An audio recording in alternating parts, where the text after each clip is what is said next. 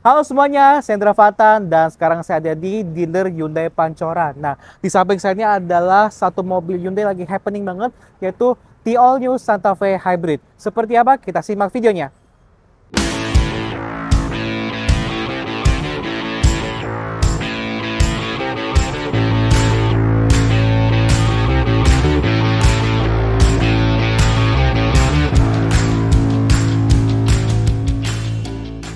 Nah, jadi di akhir tahun 2024 ini Indonesia resmi meluncurkan Santa Fe generasi terbaru. Ini udah generasi keberapa ya? Udah banyak banget gitu. Tapi intinya memang Santa Fe ini merupakan salah satu bahkan bisa dibilang model Hyundai yang paling lama masih dijual di Indonesia gitu. Jadi generasi pertama dari tahun 2000-an sampai sekarang itu masih dijual tanpa terputus sama sekali, ya kan?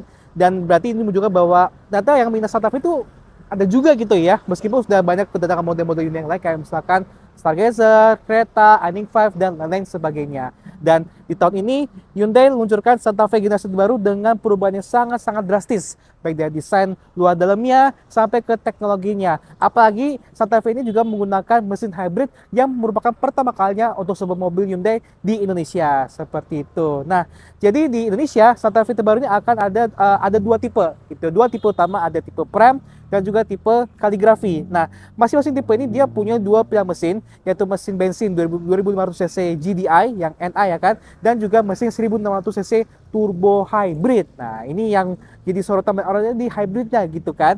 Dan dengar-dengar nih kata dari salesnya, yang kebanyakan orang-orang konsumen beli Santa Fe yang mesin hybrid, bukan yang bensin. Dan juga bahwa orang-orang ini udah mulai concern sama istilah efisiensi bahan bakar, terus juga teknologinya canggih segala macam, sehingga hybrid ini mulai diminati oleh customer yang beli Santa Fe ini seperti itu. Nah, seperti apa detailnya? Nah, kita lihat dari desainnya dulu. Nah, seperti saya sampaikan di awal, jadi memang desain Santa Fe ini benar-benar berubah drastis ya kan. Orang-orang nggak kebayang bahwa Santa Fe ini sekarang ini jadi berubah total seperti ini. Di mana kalau dulu itu kan desainnya kan agak buat bulat mengkurva seperti itu. Pokoknya kesannya itu SUV perkotaan banget lah ya kan? Nah tapi sekarang Santa Fe ini diubah dari sama Hyundai menjadi seperti ini serba boxy serba mengotak gitu ya. Karena memang Santa Fe ini juga akan uh, ditargetkan untuk konsumen-konsumen yang suka off-road, suka adventure segala macam seperti itu. Nah, jadi ini memang berubah drastis dan memang setelah saya lihat langsung mobilnya ini kelihatan gagah banget ya mungkin nggak sejelek seperti yang dikatakan orang-orang di netizen gitu. Itu bener-bener keren banget, futuristik. Emang zaman sekarang juga tuh seperti itu ya, gaya desainnya ya kan. Nah, kita ke bahas uh, tampilan-tampilan seperti apa. Jadi di sini dia benar-benar serba mengotak semua di bagian tampilan grillnya segala macam gitu. Dan dia lampunya ini menggunakan ornamen huruf H yang menjadi inisial dari brand Hyundai. Nah, buat kalian nyadari bahwa memang sekarang itu beberapa mobil Hyundai terutama di SUV-nya itu menggunakan ornamen huruf H di bagian lampunya seperti ini. Jadi kesannya itu menjadikan identitas tersendiri seperti itu. Apalagi kalau kita kan cuma bagian lampu ini nyala ya, tapi juga di bagian tengah ini kalau kita nyalain lampu senjanya itu bagian tengah juga akan menyala seperti ini. Jadi kelihatan makin lebar dan juga makin kelihatan huruf H-nya seperti itu. Dan nggak cuma bagian lampu, di sini di bagian bumpernya itu juga ada tulisan huruf H-nya di sini. Jadi gitu. Jadi ada benar-benar kelihatannya distinktif banget gitu ya. Nah, karena ini tipe kaligrafi hybrid yang merupakan tipe flagshipnya, jadi di sini ada kayak ada ornamen-ornamen seperti ya seperti diamond-diamond gitu kan sini yang kesan kesannya mewah baik di bagian grill dan juga di bagian uh, air dampernya seperti itu. Nah, itu bagian depan ya kan. Nah, kita ke ke bagian samping. Nah, kelihatan banget ya. Mengotak banget uh, desain sampingnya. Di sini kita lihat di sini dia punya roof rack yang proper. Kita bisa taruh barang pakai roof box di situ ya kan. Terus di sini kita lihat di sini dia ada uh, over fender yang dikasih sentuh warna piano black seperti itu dan dia menggunakan pelek ukurannya sekitar uh, 20 inci seperti itu. Jadi ini ini ada pelek khusus untuk tipe kaligrafi hybrid. Sedangkan ada juga yang kaligrafi bensin itu dia punya pelek sedikit lebih besar yaitu 21 inci dan juga motifnya agak beda. Tapi sama-sama dikasih warna black seperti itu. Oh ya satu lagi dia ada fitur yang tersembunyi di bagian sini ada sebuah kotak kecil Nah, ini gunanya apa? Ini adalah sebuah handle yang kita yang berguna banget untuk kayak pasang barang di atas kayak pasang roof box macam itu kita bisa pakai ini dia akan langsung memudahkan kita untuk memanjat seperti itu. Gitu. Ini ada gunanya mungkin gak banyak orang menyadari seperti itu ya. Ah. Oke, kita lanjut ke bagian belakang. Oke, jadi beginilah penampakan belakang dari all new Santa Fe Hybrid, khususnya tipe kaligrafi hybrid yang menjadi banyak kontroversi di kalangan netizen. Karena memang secara desainnya ini bener-bener rata banget ya. Rata mungkin masih ada kelukuan kelukuan sedikit tapi ya rata gitu ya cenderung rata. Ya istilahnya kotak sempurna seperti ini yang sebetulnya mungkin akan lebih berguna di bagian uh, untuk akses ke ruang bagasinya karena kan jadi jauh lebih besar dan jauh lebih lebar seperti itu. Dan di sini dia punya uh, tulisan Santa Fe yang gede banget dan dikasih warna hitam karena memang ini adalah tipe kaligrafi jadinya memang dikasih sentuhan warna hitam supaya lebih apa ya menarik gitu ya. Terus juga di sini ada tetap ada ornamen uh, huruf H di bagian lampu belakangnya seperti ini. Ini adalah handle buat uh, buka pintu bagasinya. Terus juga ada di sini ada buat lampu-lampuan di sini nih dan juga ada bagian mepernya yang dikasih laburan warna piano black seperti itu. Oh ya satu lagi di sini kan kelihatan kayak nggak ada bumper belakang ya. Sebenarnya ada, jadi di bagian di sini di, di, di dekat spoiler sini memang letakkan agak tersembunyi seperti ini kebanyakan PV PV premium seperti itu ya gitu. Coba bilang di sini karena ini varian hybrid, di sini juga ada emblem hybrid di sini yang menegaskan bahwa ini adalah Santa Fe yang hybrid seperti itu. Nah, kita langsung saja masuk ke ruang bagasinya. Jadi ini sudah punya fitur power tailgate seperti ini. Langsung buka. Nah, langsung proses. Jadi ginilah ruang bagasi dari all new Santa Fe. Gimana karena dia punya bentuk ruang bagasi pintu bagasi yang mengotak seperti ini jadi dia punya kesan uh, bagasi itu lebih besar seperti itu. Dan di sini dia punya uh, jok belakang yang bisa dilipat seperti ini 50-50 dan kalau kita angkat lagi angkat lagi jadi seperti ini ruang bagasinya. Ya cukup besar lah ya. Dan kita bisa atur uh, kemiringan joknya jadi seperti ini sehingga bisa muat orang uh, barang-barang lebih lagi kalau joknya dilipat semuanya gitu. Dan kalau misalnya kalian um, mungkin merasa ruang bagasinya kurang begitu besar, kita bisa lipat seperti ini. Tuh, ini salah satu contohnya kan tadi saya bilang di awal. Jadi ini kesannya lebih luas dan ini juga jok bersekutu juga bisa dilipat rata seperti ini ya. Jadi bisa membawa barang lebih besar lagi gitu ya.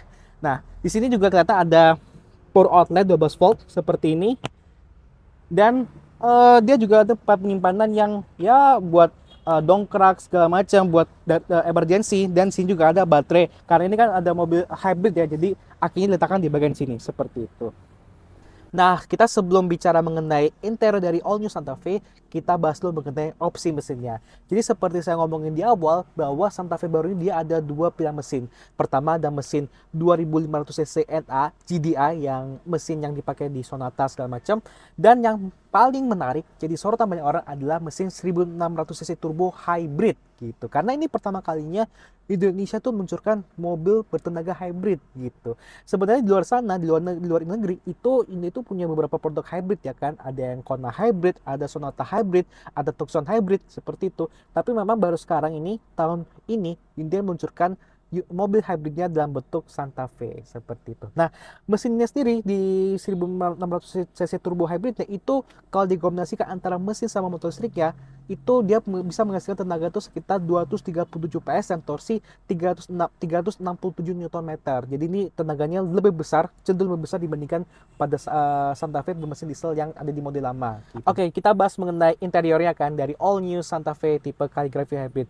Nah, jadi buat kalian yang uh, pernah nyobain Kona elektrik gitu ya itu kurang lebih desainnya sebenarnya 11-12 sih ya sama-sama dia cenderungnya horizontal, vertikal, lurus seperti itu. Apalagi dia juga sama-sama punya uh, dua screen yang agak mengkurva seperti ini, yang agak menjorok ke bagian uh, drivernya begitu.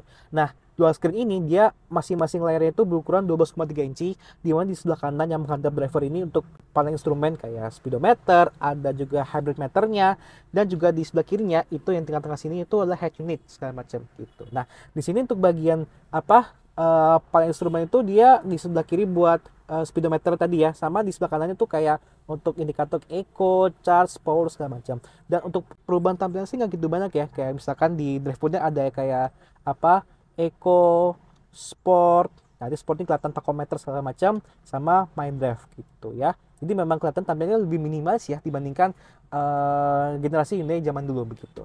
Terus juga di bagian head unit ya, ini yang sama-sama tadi 12,3 inci, ini juga memang sudah mengadopsi sistem infotainment Hyundai terbaru gitu yang yang dinamakan CCNC. Jadi di sini fiturnya cukup banyak, ada FM, radio, AM segala macam dan juga ada navigasi di sini Tuh, kita bisa lihat tampilan navigasi untuk mengetahui posisi mana, terus kita mau ke mana, kita bisa menggunakan di navigasi ini seperti itu. Terus juga di sini ada kayak hybrid. Nah, ini hybrid meter nih cukup menarik ya, karena ini kan hmm, mobil hybrid gitu, jadi kita bisa mengetahui kayak misalkan aliran energinya ke mana dari mesin atau dari baterai, atau juga mengenai efisiensi bahan bakar dari si hybrid ini, terus juga penggunaan motor listrik, pokoknya udah lengkap banget gitu ya. Lalu sini juga ada kiblat. Nah, ini kiblat ini menarik banget kalau misalnya kalian bawa mobil ini ke tempat jauh, ke adventure, ke hutan yang mungkin kalian pengen sholat tapi nggak tahu di mana uh, arah kiblatnya. Nah, ini Hyundai punya fitur kiblatnya jadi kita bisa bantu ke mana arah kiblat menghadap ke Ka'bahnya seperti itu. Terus juga dia juga banyak fitur-fitur lain kayak misalkan Android Auto, Apple CarPlay, juga ada pengaturan kursi, ya kan bisa kita atur di head unit ini segala macam terus juga di sini ada apa uh, mode valet kalender cuaca segala macam bisa atur sini ya pokoknya banyak banget fitur-fitur kita bisa atur dari unit ini seperti itu. Entertainment dan juga mengenai uh, fitur blue juga. Karena memang unit ini juga ada fitur blue yang kita bisa pakai untuk uh, kayak misalkan mengatur fitur-fitur dari mobil ini. Buat misalkan ada emergency itu bisa kepakai blue seperti itu. Oh ya satu lagi. Uh, bahwa mobil ini yang berkaitan fitur dueling ya itu juga punya fitur voice command yang belum banyak dibahas sama review-review yang lain seperti itu. Nah, voice command ini dia menggunakan bahasa Indonesia, tapi kita harus pastiin bahwa head unit ini sudah menggunakan bahasa Indonesia dulu gitu ya. Jadi kan bagian head unit, sekarang kita bagian ke bawahnya di sini ada konsol tengah yang cukup banyak tombol-tombol ya kan. Nih, bagian atas ini ada tombol-tombol buat ngatur tadi head unitnya, ini buat volume, buat uh, nyalain head unit segala macam. Nah di bawah bagian bawah lagi ada buat AC-nya. Jadi ini AC-nya ada display yang cukup gede yang kita bisa tekan-tekan tombolnya untuk uh, menyalakan AC-nya segala macam. Ada dual zone juga kan bisa kita jadi kita kiri kanan bisa atur suhunya dan ada juga driver only yang uh, untuk berguna agar AC itu mengarahkan ke kita sehingga lebih efisien setelah konsumsi energinya gitu. Lalu di bagian bawah lagi ada kayak tombol buat sensor parkir, ada kamera 360 ya kan. Ini udah ada kamera 360 di sini seperti itu.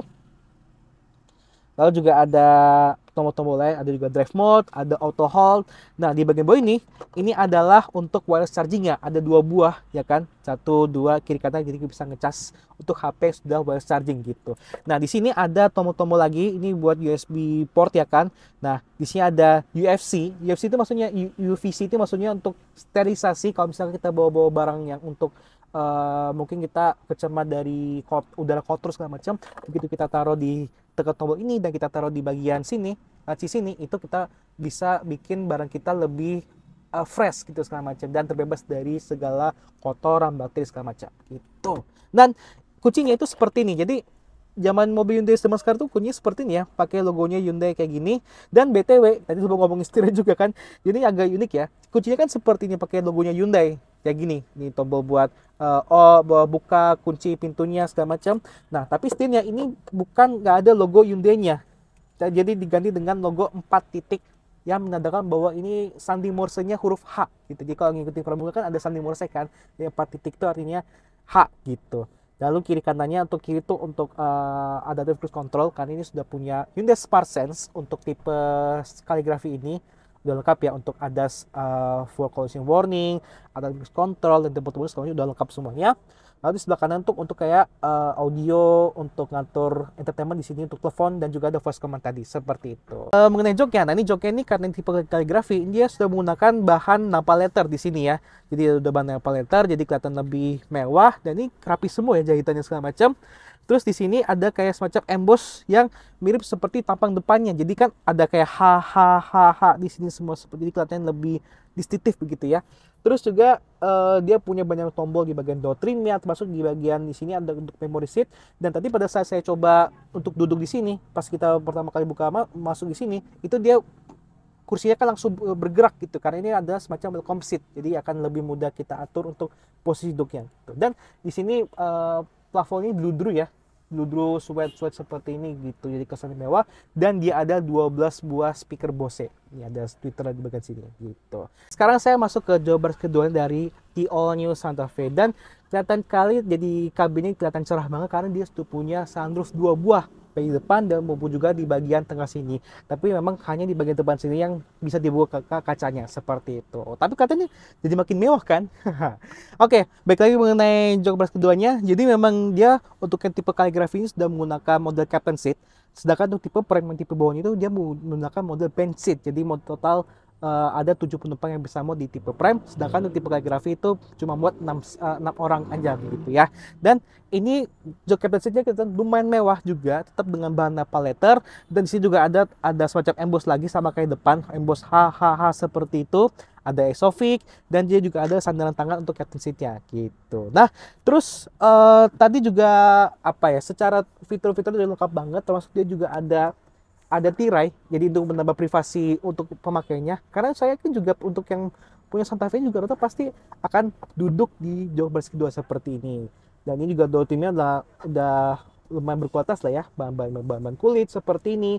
Ada kisi AC untuk uh, ke penumpang belakang. Sama dia juga ada fitur heater seat. Ada jok panas juga di sini nih gitu ya. Dan saya sempat coba fitur ini pas di sana di Plaza Senayan itu lumayan panas juga ya apa ya kalau udah sampai di uh, tiga level. Level tiga itu paling panas banget seperti itu. Di sini ada uh, bagian uh, untuk tombol untuk memajukan jok uh, depannya sehingga ini penumpang di belakang di sini ini akan jadi makin lega secara itu. Dan tadi lupa bilang juga di jok depan situ itu juga ada fitur adanya leg rest. Jadi kalau misalnya kita mau istirahat itu bakal uh, lebih relax gitu karena dia ada semacam penyangga untuk bagian kakinya di sebelah sini. Ini di bagian jok depan baik itu di penumpang depan dan juga di bagian driver begitu. Dan secara kelegaan sih oke okay lah ya. Kelegaannya sih oke okay banget. Masih muat lah ya, masih legroom masih aman-aman aja, apalagi juga headroomnya walaupun ada sunroof tapi masih lebih dari cukup seperti itu. Dan di sini bagian depan ada kayak uh, kantong jok, ada juga buat gantung uh, gantungan juga di bagian sini, karena ada juga uh, eh, USB port sebelah sini seperti itu. Oke, kita masuk ke jok baris ketiganya. Nah, sekarang saya duduk di jok baris ketiga dari T All New Santa Fe. Jadi, memang karena dia punya proporsi badan jauh lebih besar dan mengotak, jadi sebenarnya untuk duduk di baris ketiga jauh lebih bagus, jauh lebih baik dibandingkan generasi sebelumnya. Nah, untuk ukuran badan saya yang cenderung medium lah ya, itu masih aman-aman aja nggak ada masalah. Uh, memang secara kakinya itu memang agak sedikit naik ya di bagian uh, sikutnya tapi itu nggak begitu masalah. Tapi sedikit kita bisa atur juga kereban joknya seperti jadi lebih relax gitu. Ini katanya kan ini ada yang lebih relax dan juga yang lebih tegak gitu. Dan di sini di samping kiri kanan ini dia ada kisi AC jadi ini uh, penutupan belakang. Paling belakang juga masih bisa merasakan udara AC-nya dan kita bisa uh, nyalakan suhunya seperti ini on off segala macam seperti itu. Dan dia juga ada USB port uh, dua buah ya kiri kanan juga dapat USB port gitu. Dan untuk masuk ke sini itu juga cukup gampang karena dia kan ada uh, model one touch tumble ya kan seperti ini tiga tekan tombol di sini dia akan langsung bergerak sendiri gitu. Gampang kan? Tekan tombol dia akan langsung maju sendiri seperti itu. Jadi enak kan kalau duduk di ketiganya uh, kemarin juga waktu pas acara launching Santa Fe di Basis Bali, saya juga udah sempat test drive mobil ini. Nah, seperti apa? Kita simak. Sekarang saya lagi nyobain all new Santa Fe tipe kaligrafi hybrid dan ini seperti hybrid pada umumnya ini di kecepatan rendah seperti ya di bawah 20 km ini senyap banget ya kayak nggak ada uh, bener-bener nggak ada suara sama sekali dan ini memang lagi di mode elektrik di mana uh, baterai itu dia menyalurkan tenaga ke mobil ini bener-bener dari baterainya bukan dari mesinnya sama sekali nah kita memang ngetesnya tuh memang di tempat yang terbatas ya jadi memang uh, nggak uh, bisa terlalu mengetes astrasi macam-macam tapi sini kita bisa uh, mengetahui seperti apa uh, kelebihan dari mobil ini seperti itu dan uh, kita lihat di sini memang vibe-nya ini kelihatan mewah sekali. Kelihatan mewah sekali khas Hyundai zaman now. Di mana ini memang uh, dominasi dari model-model vertikal horizontal seperti ini gitu ya. Dan kita di interior ada dua screen sama-sama berukuran uh, 12,3 inci yang di mana kita juga bisa menampilkan navigasi untuk mengetahui uh, daerah yang akan kita tuju gitu. Dan kalau kita lihat setirnya juga lumayan ringan. Tadi juga ah suspensinya juga keras ya lumayan keras seperti itu kita coba gas tipis-tipis tua gapat uh lumayan lah ya penyaluran tenaganya tapi memang kita nggak bisa terlalu kenceng-kenceng karena sekali lagi ini memang uh, jalanannya terbatas gitu. Kita nggak bisa terlalu mencoba mengekstraksi seperti di circuit gitu dan tempat sana ada taksi lagi berjajaran. Tapi setelah kita bisa ngerasain ternyata pas kita injek gas dalam tadi tuh lumayan berasa kencang gitu ya apalagi dia menggunakan mesin uh, yang benar-benar baru yaitu 1600 600 cc turbo hybrid yang uh, memadukan antara mesin bensin yang cukup bertenaga tambah motor listrik yang memang sama-sama bertenaga seperti itu. Kan kita mutar ke bagian door stop eh door stop door uh, lobby dari kantor. Nah kita coba putar baliknya. Oke. Okay lumayan juga ya radius putarnya. Lumayan pendek gitu radius putarnya. Tapi overall uh, Santa Fe Hybrid ini memang bisa jadi pilihan untuk kalian yang memang uh, untuk mencari mobil SUV six seater gitu ya yang memang selain bisa buat banyak orang, fiturnya juga berlimpah, tapi juga bertenaga dan hemat bahan bakar yang paling penting. Karena namanya juga hybrid, jadi mesin itu uh, tidak bergerak sendirian, tapi juga ada bantu dari motor listrik. Sehingga kalau kita lagi kondisi kecepatan seperti ini, itu akan lebih halus lagi. Dan kalau kita lagi kecepatan tinggi, mungkin akan tenaganya lebih berasa mantap lagi. Nah, kan jadi kalian udah nonton reviewnya dan juga test drive dari All New Santa Fe ini. Gimana? Keren nggak mobilnya? Jadi memang secara mobil ini benar-benar berani ya ini mencoba untuk di luar zona nyaman dengan menghadirkan Santa Fe yang tidak hanya cocok untuk SUV perkotaan tapi juga untuk adventure seperti itu. Nah terus juga dia punya uh, yang penting teknologi hybridnya kan hybridnya yang memang benar-benar pertama kalinya ada di Indonesia untuk sebuah mobil Hyundai sehingga buat kalian yang memang masih ragu untuk pindah ke mobil listrik bisa pilih yang hybrid jadi dapat efisiensi BBM yang lebih bagus terus juga lebih senyap saat berkendara dan juga yang penting emisinya juga lebih rendah gitu ya. Jadi lebih aman untuk yang untuk pergi keluar kota yang masih uh, bingung cari tempat di mana bisa pilih hybrid ini. Oke sekian dulu video mengenai T All New Hyundai Santa Fe versi Calligraphy Hybrid. Terima kasih sudah nonton video ini dan jangan lupa juga klik like saya juga subscribe channel Indra Fatan dan sampai di video selanjutnya. Bye bye